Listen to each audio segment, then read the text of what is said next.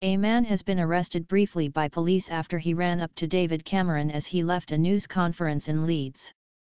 The local man headed towards the Prime Minister at speed and got close to him in the street outside the city's Civic Hall. But Mr. Cameron's security team stepped in to wrestle the dreadlocked 28-year-old out of the way as he got into a waiting car. Video of the incident shows the PM appearing to brace himself as the man approached, before a bodyguard intervened to grapple with him.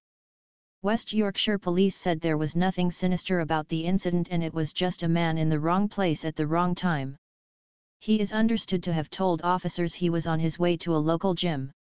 Conservative MP Mark Pritchard has demanded a full investigation into how the Metropolitan Police security team allowed the man to get so close to Mr. Cameron he called for the Met's Commissioner Sir Bernard Hogan Howe to launch an immediate internal inquiry.